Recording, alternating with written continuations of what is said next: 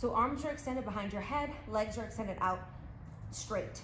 What you wanna do with this mo movement is lifting your arms and your legs at the same time, keeping your back flush to the ground and touching the tips of your fingers, the tips of your toes. All the way up and all the way down.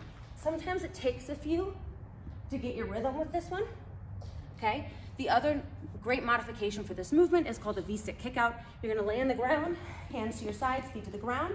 You're gonna sit up and touch your ankles. Come on down, up, touch the ankles.